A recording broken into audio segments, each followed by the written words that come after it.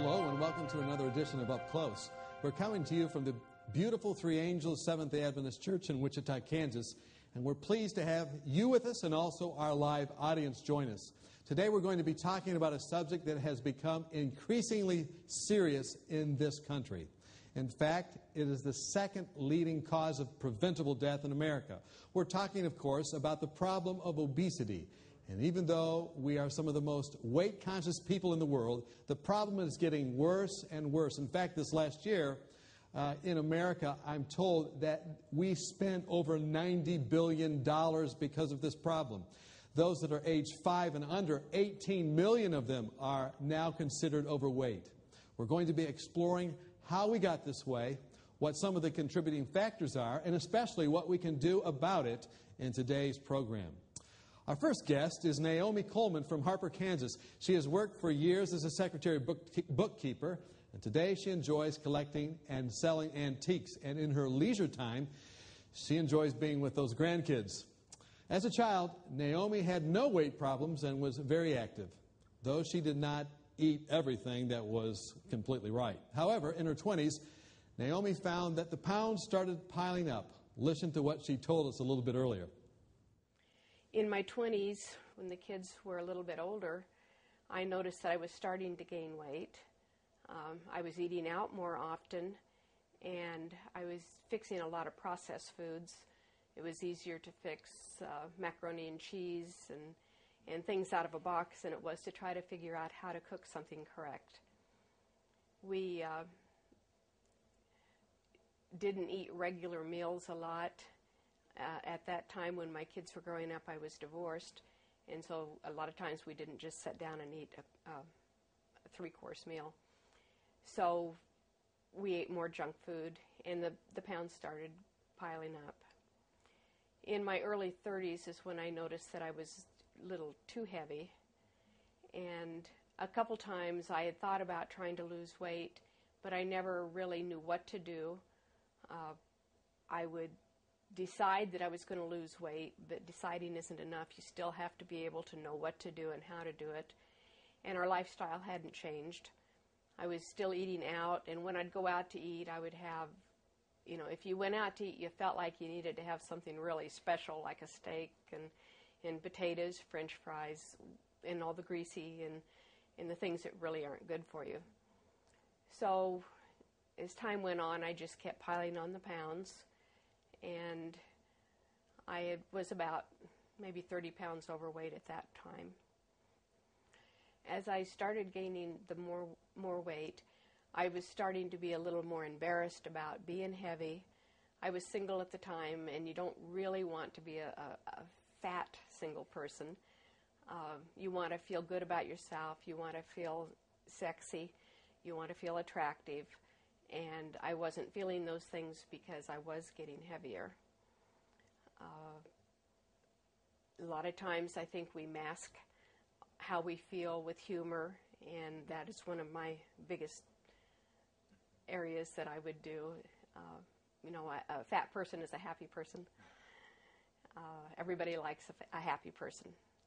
And even though I didn't feel good about gaining weight, I still didn't feel bad enough to do anything serious about it.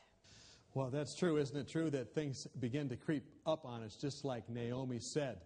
And that's certainly true when it comes to weight. We're glad that Naomi Coleman is with us this evening, and we'd like to welcome her to the program at this time.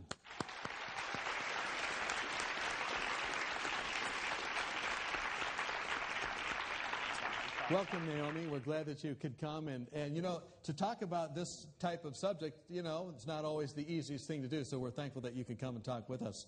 Um, you know, I noticed in that, that clip that, it, that things just started to creep up on you. Is that right? That's right. They did.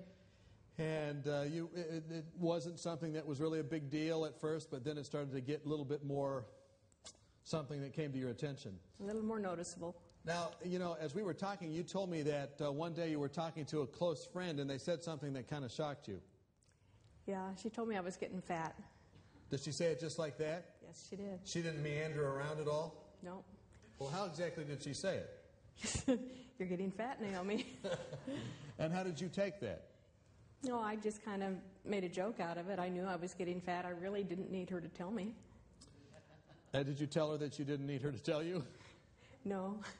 And, but when she left, how did you really feel about that? Well, I knew she was right. I was a little embarrassed about it, but I still didn't know what to do about it. And so you were kind of uh, saying, what, what should I do next? That kind of a thing. Yeah. And th- there, there was no real help that you knew of, but now you knew that others knew that you needed some help. Yeah. Okay. She offered to tell me I was fat. She didn't offer to help me to get skinny. Well, that's the kind of people that are, what do they say? Kind people, the kind we don't need, right? we asked Naomi about re- what really made her decide to do something about her weight and health in general. And here's what she shared with us. As I got a little older and I had gotten remarried, uh, at first I had lost a little bit of weight because there was such a dramatic change in my life. But then as time went on, you become more contented and it seems like everybody's needs were first, and so I still wasn't paying attention to what I needed to do for myself.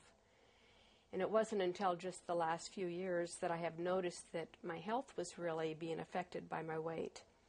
I did try Weight Watchers at one time. I did lose some weight, and that was probably the first time I ever really learned how to cook right, how to eat right. I still didn't know how to cook right.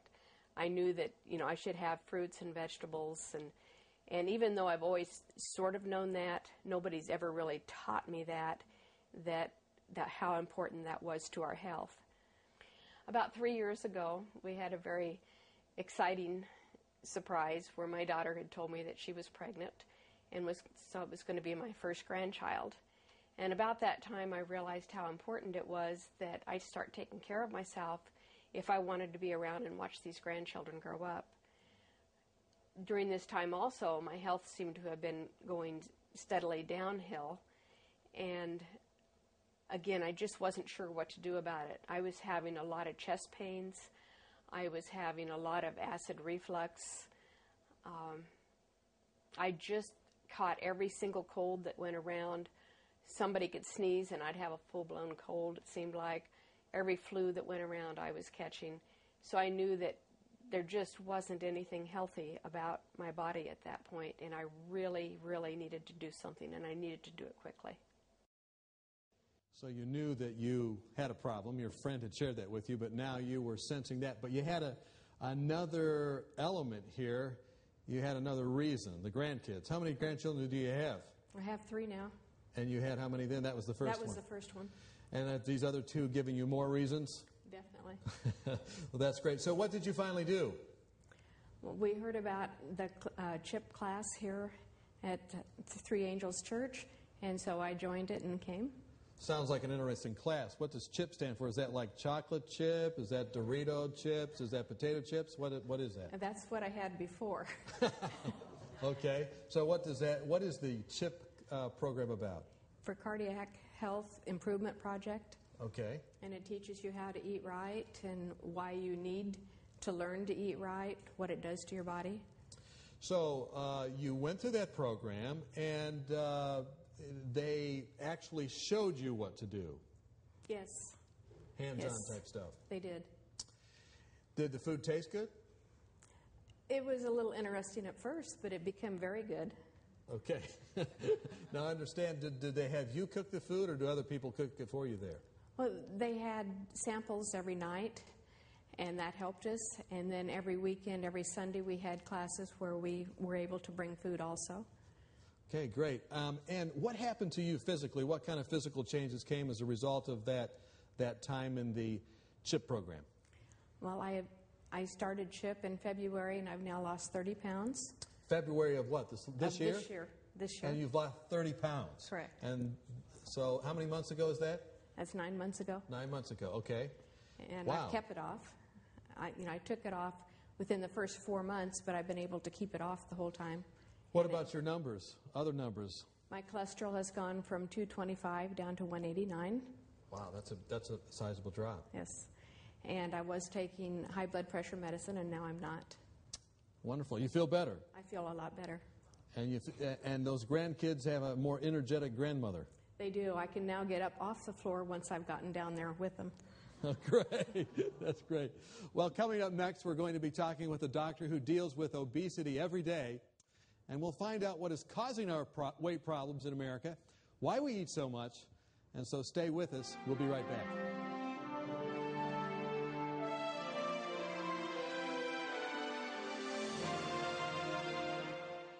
Next week on Up Close. We're going to be talking about how to tame your TV. I know with the kids, I don't really want them to watch like violence or like scary movies and stuff like that. Nope. I usually I watch everything. Our lives are stressful. We come home tired. We're looking forward to doing something different. And television gives us a chance to tune out. How would a child be different who watched a lot of television? The brain is always plastic. It's always plastic, and it can be modified. Next week on Up Close, Taming Your TV. Don't miss it.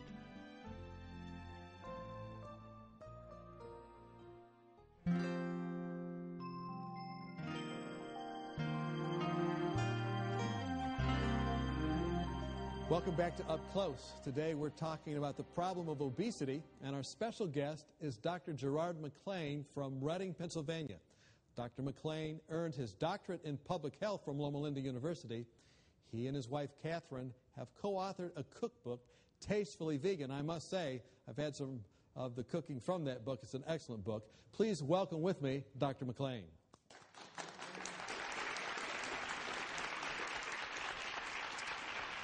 Well, these were some testimony. This was an interesting testimony we heard from Naomi. It's awesome what she's done, you know, and she's doing the right things. In America today, over two thirds of us adults are overweight, and one third of us are actually obese. Now, why is that important? Well, it's important because the more weight we carry, in fact, we're twice as likely to die prematurely if we're obese. Twice as likely.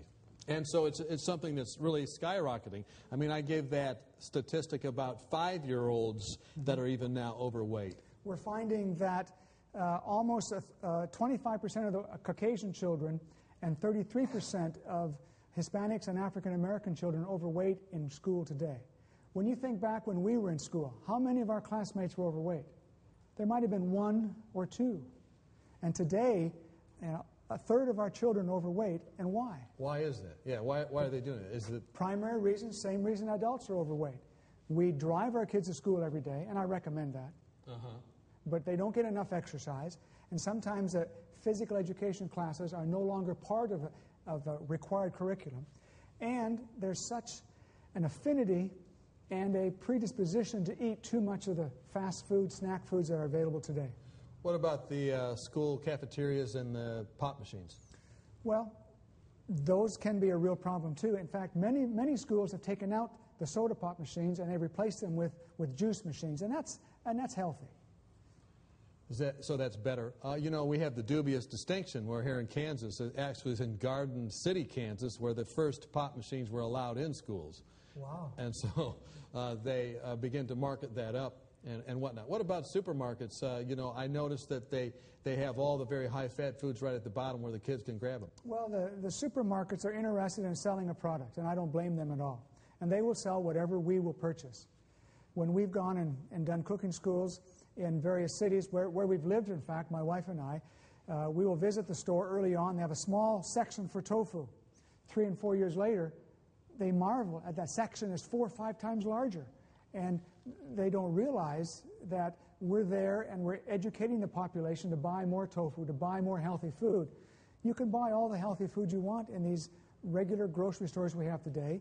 You just have to be re-educate your taste buds to know what to choose. Let me ask you a more philosophical question. Why, why do you think it is that we're, uh, we're getting larger? There's more bounce to the ounce, so to speak. Well, when we think back you know, five, 50, 60 years ago, our ancestors, even 100 years ago, when they uh, went around their daily life, they had to exercise. Today, our daily lives involve walking to the car or the bus. And then we sit to go wherever we got to go. And then when we get to where we're going, we sit some more.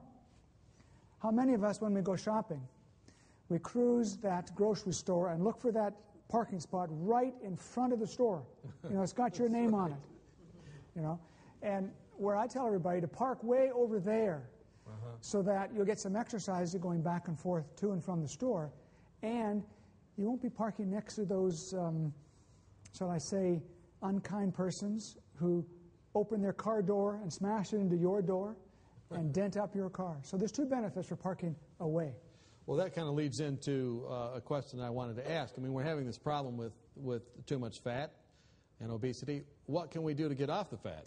Well, one of the primary things we have to do is look at our diet, and diet is very important. It's really a good idea to attend cooking schools, attend weight loss classes, attend some sort of seminars to learn about the food that's good for you. You know, we need to be eating fruits and vegetables, nuts and grains in, in the moderate amounts. In fact, if we eat enough of those, I don't object to some people eating some of the other less healthy foods.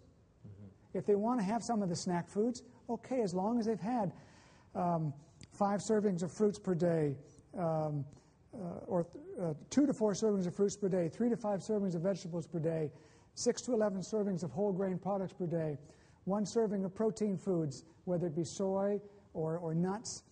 And then if you're still hungry, you can have some of those uh, less desirable, less healthy foods, but more desirable foods because of the, the fat content that's in there and some of the other things are there. You know, in uh, some of the health programs that we've run here Three Angels, Naomi was talking about coming to a program here. We found that when people uh, come to us, they really don't know how to find those foods in the store. Isn't that true, Naomi? Uh, did we help you at all know how to find things in the store? Right. You, you, told us where we could find them, and, and there was some available in the, the store that the church has. Now, in your class, did we have the shopping tour during that time, or did we not have one that time? Many times so. we have a, like a shopping tour where they take them in and show them right where the foods are. I don't know about you, but whenever I do the shopping for our family, which is not very often anymore, after I brought home some of the things that my wife didn't think were essential, um, uh, you know, once you go to a store, you kind of know exactly where you want to go. You know what's on aisle number three and aisle number four, and, and you kind of just go on automatic pilot, right? And then they renovate the store, and all panic breaks out. a Actually, shopping tour is really a good idea yeah. because you can go to any of the supermarkets and you can find the healthy food when you know where to look. Let me ask you one other question, and, uh, and that is this Is fat addictive? I think we have to look at it from the point of view of what makes food taste good. Food is a, food tastes good. What makes food taste good? There are three primary ingredients. Number one, fat.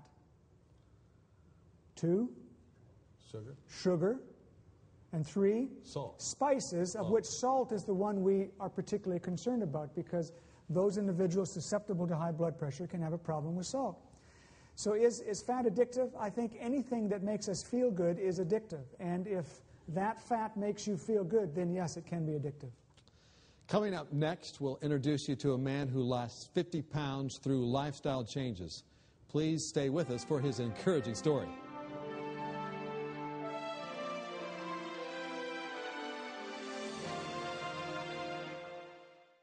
Have you found those pounds piling up?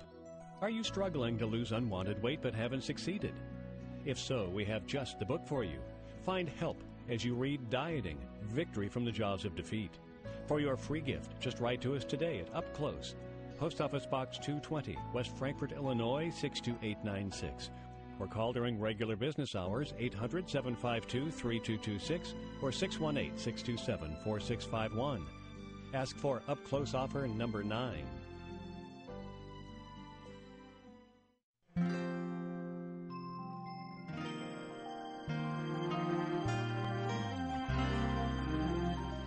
Welcome back to Up Close. Today we're talking about how a good diet can help us overcome the weight problem. Our next guest is Tim Healy from Battle Creek, Michigan. His wife Linda had been concerned about his weight for some time, but one day she read an announcement in her newspaper that made all the difference. Let's take a look. In 1975, I was a young mother with two children. I had married my high school sweetheart, and I had watched his muscular body frame becoming a little flabbier.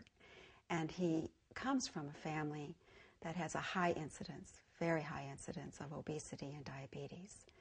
And I did not want to see what was happening to his family happening to him. I wanted to keep him around for a very long time.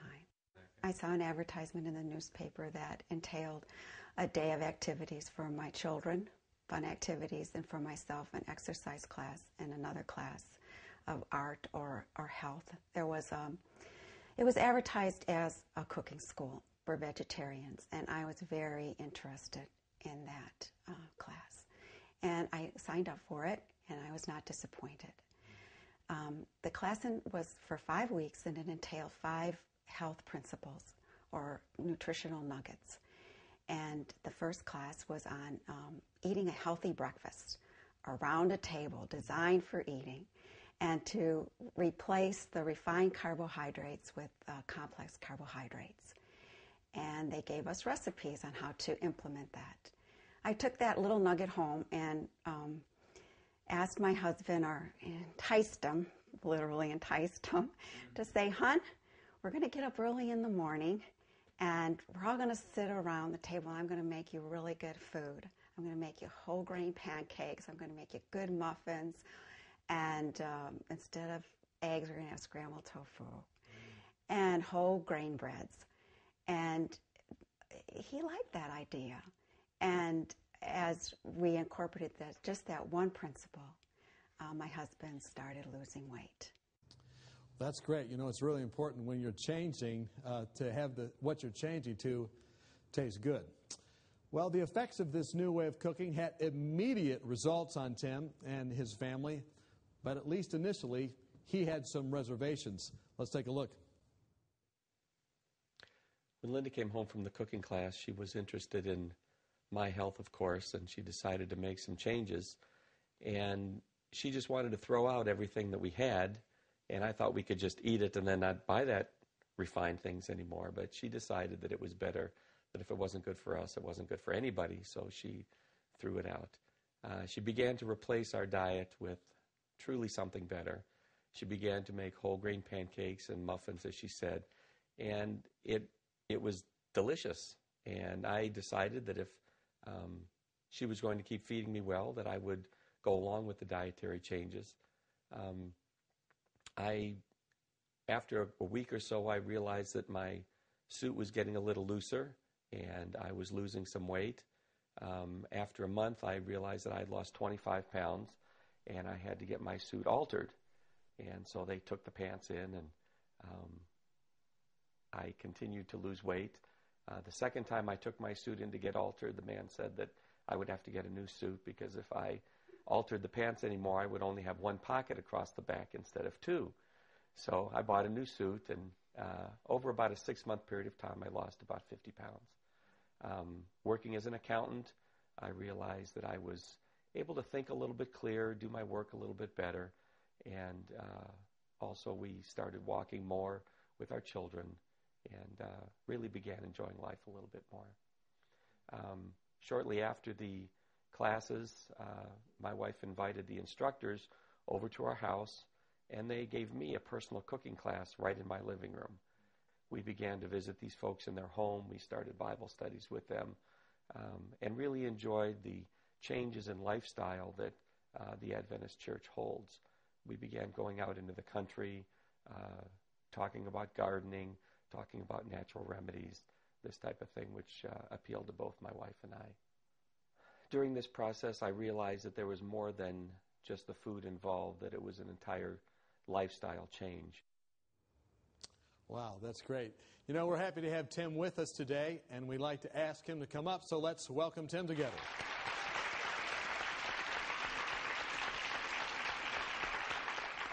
Good to have you here, Tim. Thanks and uh, let's see, do you have one pocket or two? No, we have two now. well, uh, you know, this is great. Your wife kind of uh, uh, carried you along. She did. It was uh, her insistence because she was the cook and um, I was the eater at the time. I figured if she was going to cook things, that I would continue to eat them as long as they tasted good. So now she sees you with that muscular frame that she talked about when you were in high school again. Yes, well, it took a little bit, a little bit to get back to that, and I'm, it's a work of a lifetime. It's a transition that takes a while. How long did it take you to get used to eating things that were good for you? Most things took me not very long at all because, like I said, she was a good cook. Um, my wife and two children became instant vegetarians. Uh, I still ate out for lunch every day. I was required to by work. Um, and it took me probably about six or eight months to eat 100% whole wheat bread because it was pretty tough. You mean it was hard or tough? It was hard. Okay. And was this bread uh, just because of the taste? Because of the taste and because she was learning how to bake. oh, yeah. Um, That's a learning experience, also. Yes. Sometimes those, those burnt sacrifices at the beginning are not so easy to, to take care of. Um, and so the kids really, how old were the kids when this change was made? My children were two and four at the time. Okay, so it, it wasn't e- it was an easy transition for them. right. And now you said you eat out a lot, or you did at that time. Uh, w- what did you do when you went out to eat? How did you find healthy foods then, or did you cheat a little bit?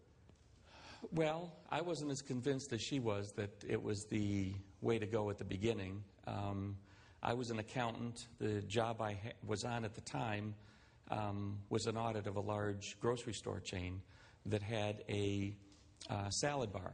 So I did begin eating a lot more vegetables than I normally would have.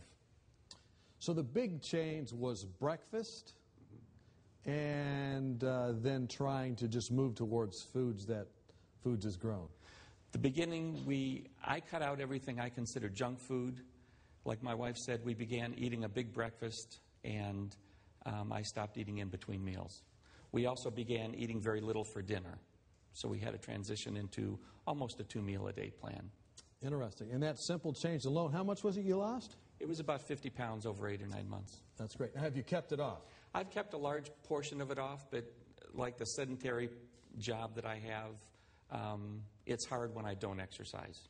These people coming into your home and having that personal cooking school, that was probably quite amazing to you. That made all the difference in the world. It made a, a deep impression on me because nobody had ever taken that much of a personal interest in us before.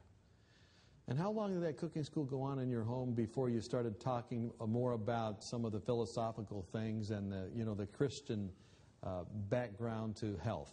Well, after the first class, my wife went up to, and this was the class that she took, I see. Uh, went up to the instructors and said she knew there was more going on than just health, and she wanted to know what that was. And so they gave her a couple of books, one of which she stayed up all night and read. And uh, almost immediately after that series of five classes, she invited them over to our house, and we had another five series, uh, five class series in our living room. Is that right? Now, so how long after that was it, is it that you joined the, the Adventist church, that faith community? It's about six months. Six months. Right. Excellent. The cooking schools led into Bible studies because you have to show somebody where all the health principles are in the Bible, and we did that. And those health principles led into other principles that we began studying as well. Now, you know, do you help other people like you were helped at this point? We do. I have a natural foods wholesale business, so Wow. we we deliver good food to people all Whole over the place. Uh, we deliver whole wheat grains and other whole grains. Uh, we also do nutrition classes with our church and uh, help as many people as we can. Do any tailor, tailoring on people's suits to make them smaller? No, that's not an area of expertise I, I hold. Well, we're so happy that you're with us, and we're going to hear a little bit more from you a little bit later in the program. When we come back, we're going to be talking with Dr. McLean about what we can do to take those pounds off and keep them off. And a little later, we'll be taking questions from our live audience, so don't go away.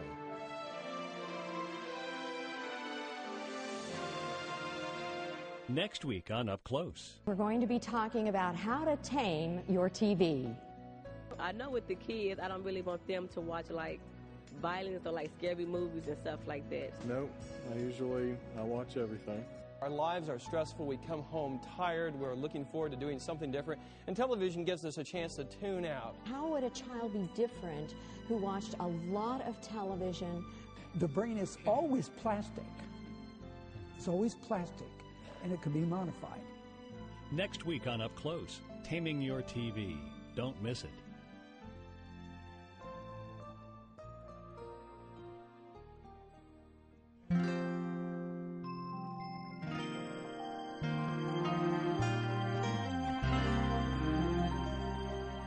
Back to Up Close. We're talking about the problem of obesity with Dr. Gerard McLean.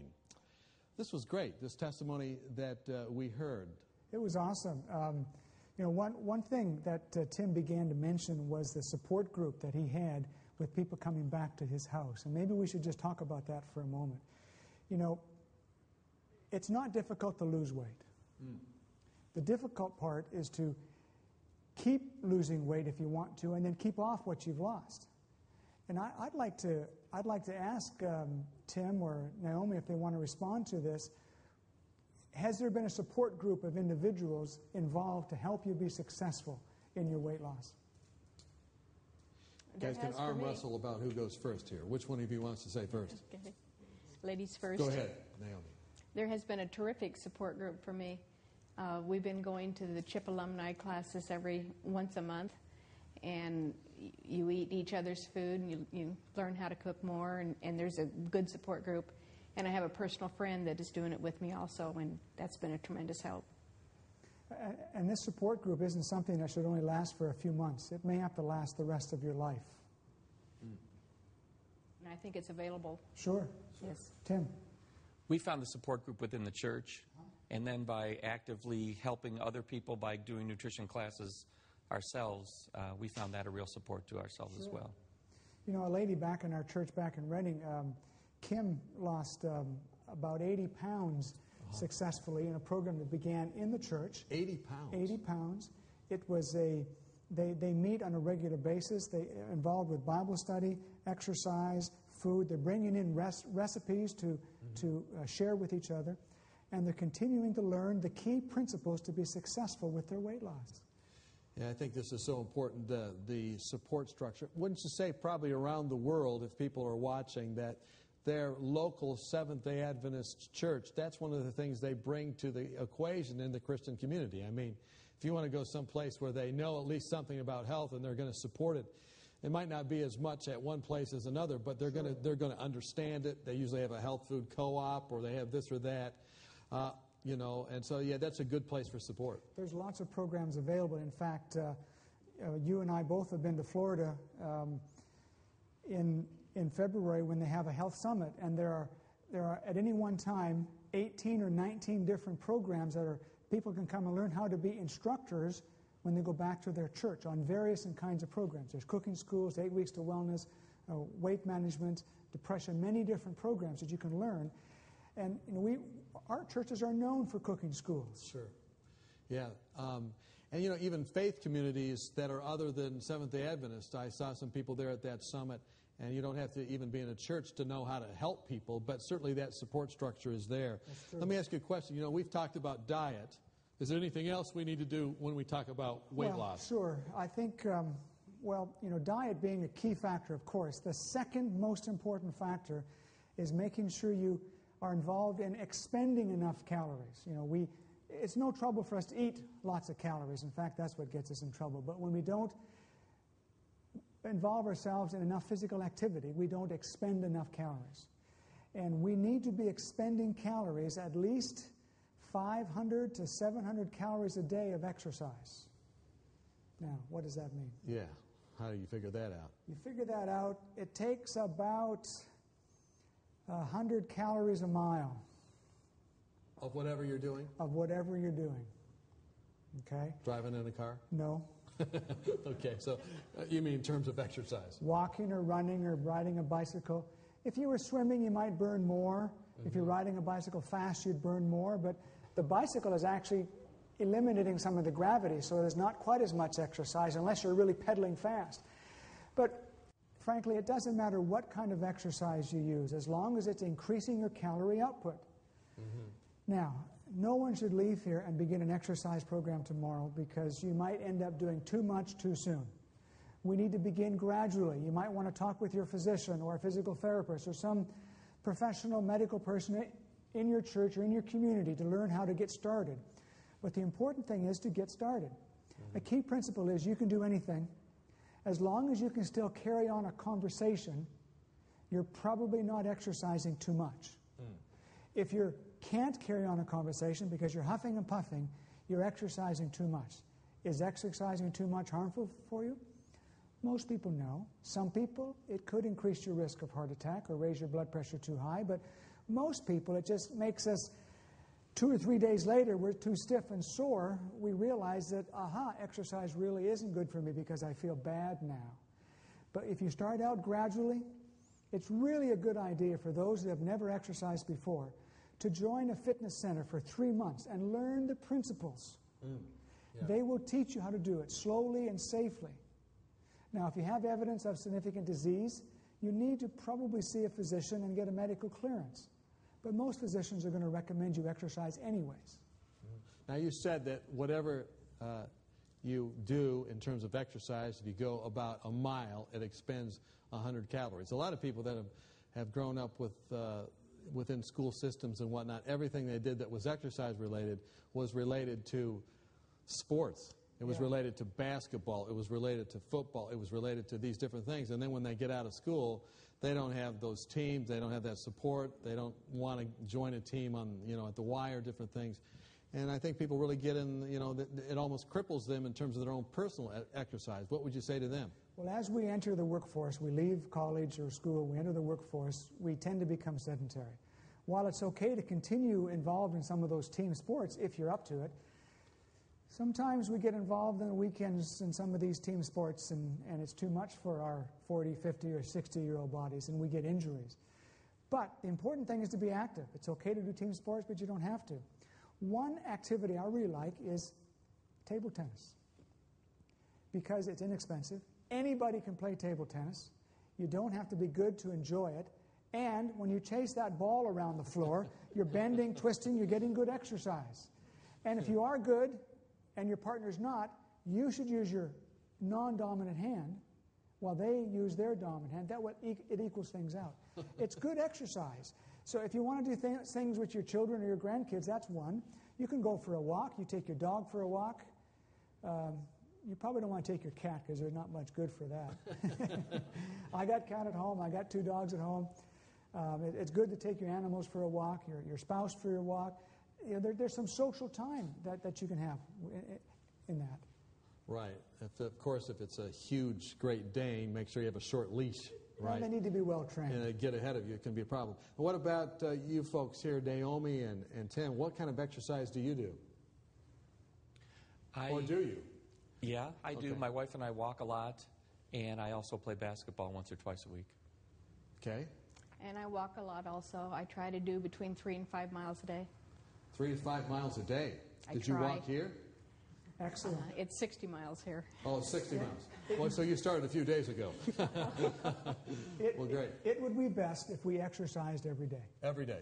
Now, that's not always realistic, and so we generally recommend five days a week. Now, three days a week is, is, enough exercise to maintain your physical fitness or your fitness level. If your fitness level is very poor, three times a week is to maintain a low fitness level. So we want to get to five. I like the plan for exercising every day. So if you miss one or two days because of weather or committee meetings or other appointments, you're still getting five.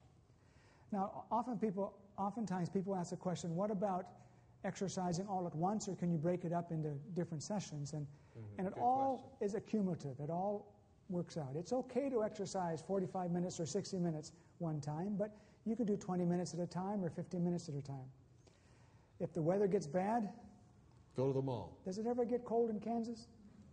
For Kansans, it does, but people that grew up in other places, you know, they don't know what's happening. If it gets too cold outside, if it gets, um, if it's too rainy, uh, you can go to the mall. The mall owners love for you to go to the mall. Just leave your credit card at home, maybe. uh, now, you know, I want to uh, shift a little bit because we've talked a little bit about uh, diet, we've talked a little bit about exercise.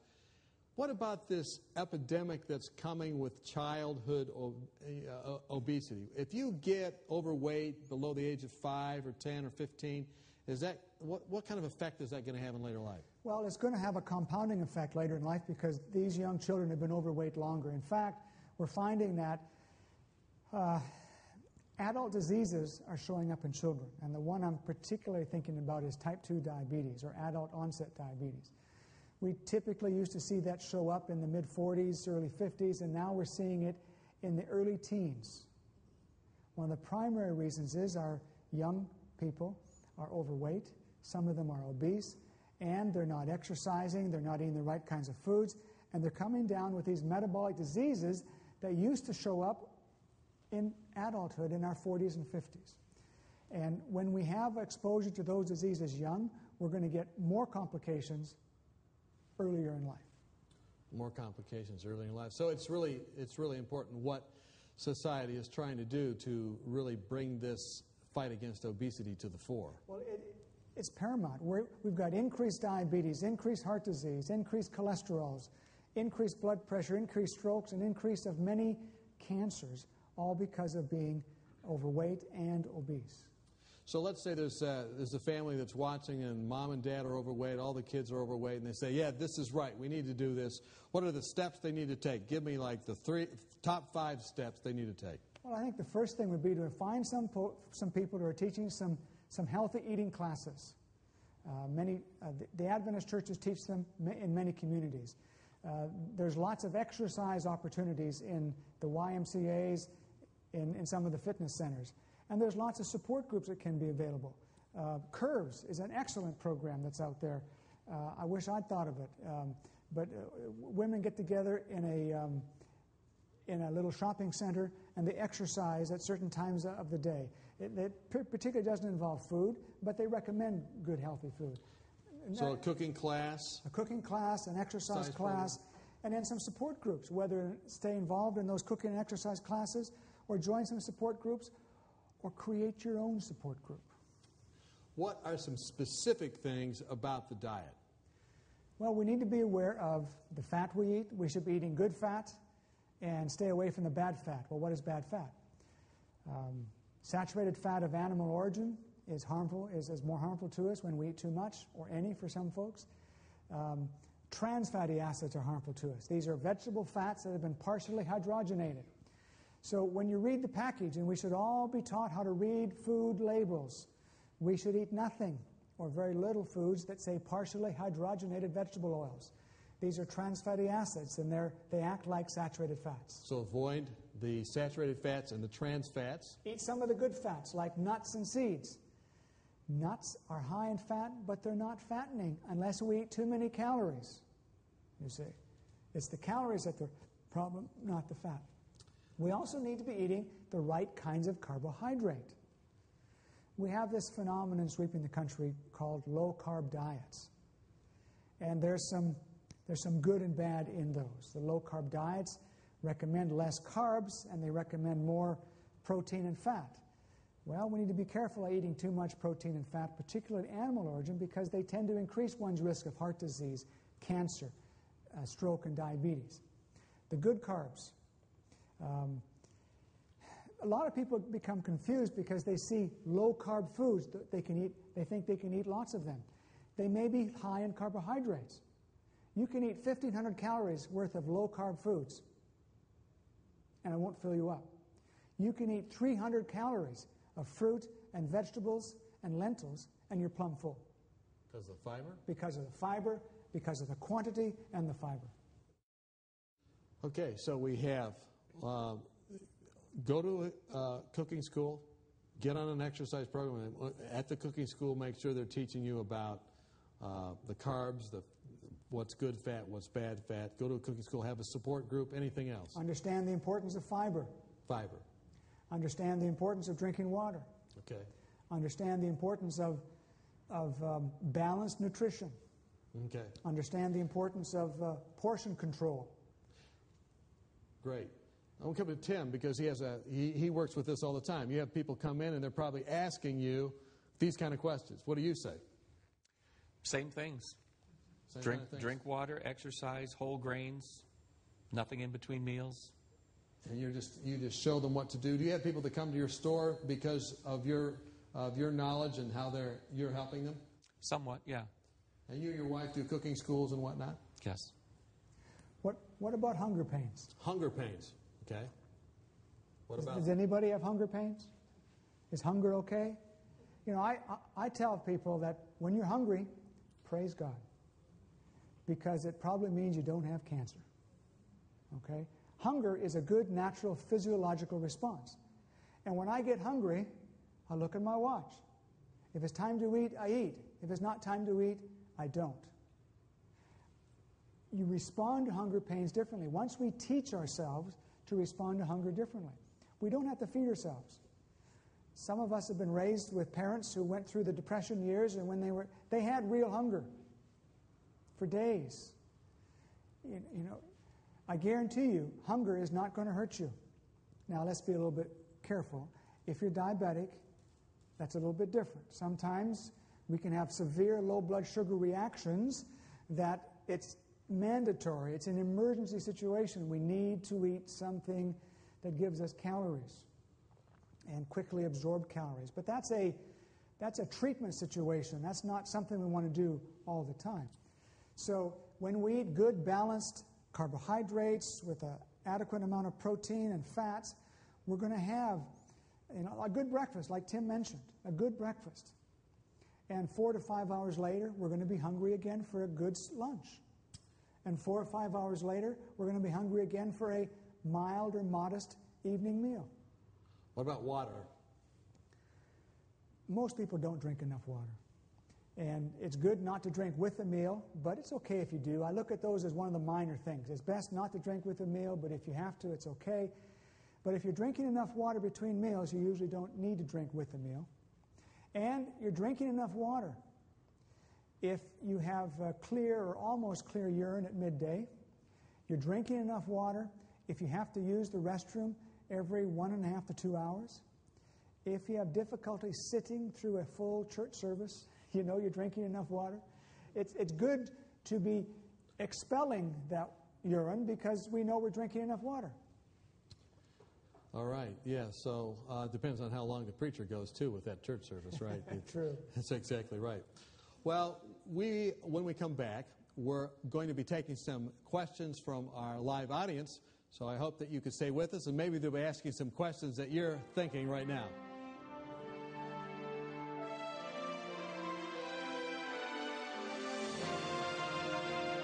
Have you found those pounds piling up? Are you struggling to lose unwanted weight but haven't succeeded? If so, we have just the book for you. Find help as you read Dieting Victory from the Jaws of Defeat. For your free gift, just write to us today at Up Close, Post Office Box 220, West Frankfort, Illinois 62896, or call during regular business hours 800 752 3226 or 618 627 4651. Ask for Up Close offer number 9.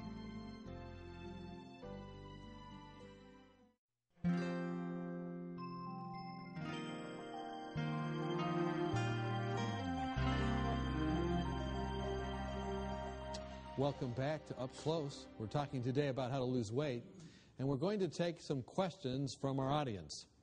And, you know, uh, before we take the first question, someone was talking to me during the break and said, if we lose something psychologically, uh, that's kind of a bad connotation. Wouldn't it be uh, better to say we're releasing weight instead of losing that? What do you think about that? Sure, I think that's a good principle. When you lose something, you tend to want to find it again. In fact, right when our fat cells become, when they shrink, when we don't follow the right principles, it's very easy for them to fill up again. And so when you lose that fat, it's very easy to find them and fill them up again. So it's a good principle to release it. But when you release something, you need to fill it. You need to fill it with something else. Sure, and I liked how Tim said that when his wife took away all his food, and he said, "Please let us finish it first. it was right, Tim. And then uh, then she replaced it with just wonderful food. Okay, our first question. What's your name and what's your question? Amy Sherrard, and not Gerard, but Sherrard. and uh, I have discussed weight problems with many people. Uh, they often tell me when I ask them, How many diets have you been on? And they can't even count them. There have been so many. Uh, this type of yo yoing uh, up and then uh, down and up and down. What are the long range effects of this? And is it possible to, to change a person's so called set point so that they actually, in the end, require much fewer calories to keep going? And what's the long range? Well, you know, you, you talk about this, this yo yo effect. We, it's very easy to lose weight, at least those first 25 or 30 pounds. It's what's difficult is is keeping that weight off and continuing to lose. Now we will lose, then we'll go on a plateau for a while. Then we'll lose and go on a plateau. This is where exercise becomes so key. Exercise helps raise that metabolism, assuming you have a normal thyroid to begin with, exercise will help raise that metabolism so you can continue to lose weight. This, this set point you mentioned is, is very key with exercise. Now, in some of the studies that were done 30, 40, 50 years ago, when you look at the activity level of those 40, four or five decades ago, we find that they're much more active than those of us today in our decade. And ac- activity is very key. Now, what is more important, diet or exercise? I don't like to answer that question because I think they're both important. You cannot do one without the other. The proper food and balance and the proper exercise in balance. Now, most of us just don't get enough physical activity. I don't like to use the word exercise because that, con- that brings up connotations of pain, this no pain, no gain kind of thing back in PE classes. What I like to get us thinking about is being more physically active. I've conducted classes for individuals in wheelchairs to help them be more physically active. Exercise for them is just as important as it is for you and I. And that, that set point is probably most critically related to physical activity. Mm. Thank you. Uh, what's your name? What's your question, please? Name is Kevin, and uh, my question is related to uh, breakfast. Uh, many people uh, frequently, in trying to lose weight, uh, will leave breakfast off as a way to lose weight, thinking that if they eat breakfast, it's going to increase their hunger later in the day, uh, maybe in the morning or the afternoon. Is there uh, is there different uh, things that one can eat at breakfast that's going to not end up with uh, hunger in the mid morning? Sure. Um, I like to tell folks to eat as much breakfast as they want. I make no limitations on the quantity of breakfast as long as it's healthy, you know, the whole grains, the fruits. Some people even eat vegetables for breakfast. I can't do that. But some people can. It's okay. But what's important is the, the, the oatmeal, the old fashioned oatmeal, the, the whole grain cereals that we have, the whole grain breads and fruits. I give absolutely no limitations on quantity for breakfast. What I do like to limit is food eaten after 6 o'clock should be none in the evening or just fruits or salads. That way, it can be low in calories. In fact, uh, many people have said we should eat breakfast like a king and, and our midday meal like a prince or a princess, uh, smaller amounts, and then eat the evening meal like someone who doesn't have much food in the house. Uh, that's very hard to do. We typically don't eat much for breakfast. We'll eat maybe a little or a lot for lunch, and we eat a lot for the evening meal because it tends to be the only time the family gets together for a meal. But we need to reverse it. Okay. Um, we have our next question, please. What's your name? What's your question? I am Linda.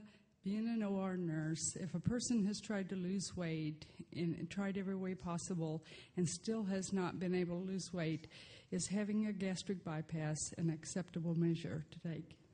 Well, I think you clinically have to make those decisions with your own physician. I think it's a, it, it is a, it is an opportunity that some can have. I would like to recommend we do the other first, but if you can't do those, there are surgical opportunities that can benefit some people. But I've seen too many people have complications afterwards. Well, uh, yeah, these complications come. Are there I guess it would have to be specifically for that individual whether or not they have the, I guess they, what do they do? They staple the stomach well, or different things like that. Those individuals who are morbidly obese uh, can greatly benefit from those sorts of surgical interventions. Uh, I would recommend those to your personal physician and your own personal medical sure. condition. Another question, please. My name is David Green. I was wondering if if it is regular, regularity important in weight management? That's a good question. Um, I do recommend regular meals.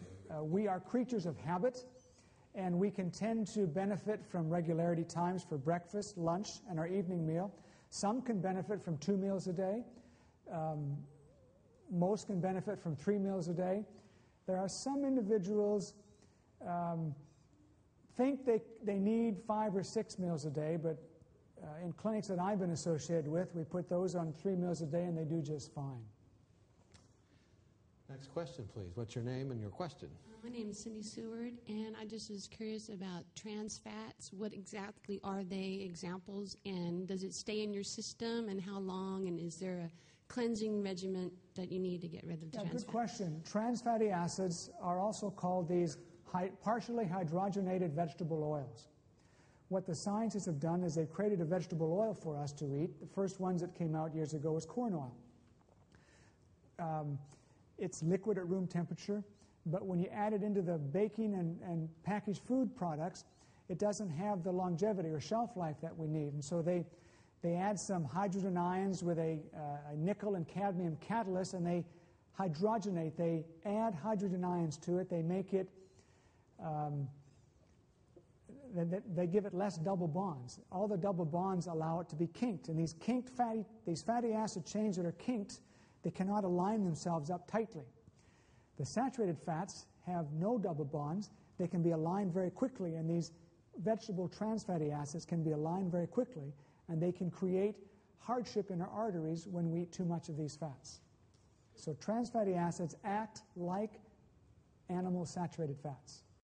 We thank you so much for the questions that you've brought to us. And you know, uh, this is, of course, a huge subject, and we haven't been able to talk about everything that's been involved in the subject, but I think we've gotten a good handle on not only diet, but exercise and then support groups. We've seen some excellent testimonies and different things that have helped us see how people have moved uh, from problems to solutions. What would be your closing remarks uh, to just kind of cap this off? Well, I think we all have to remember that God loves us whether we're overweight, whether we're obese, or whether we're sin. He makes, or whether we're thin. He makes no distinctions. In fact, in 3 John 2, God tells us that uh, He wishes that we prosper and be in health.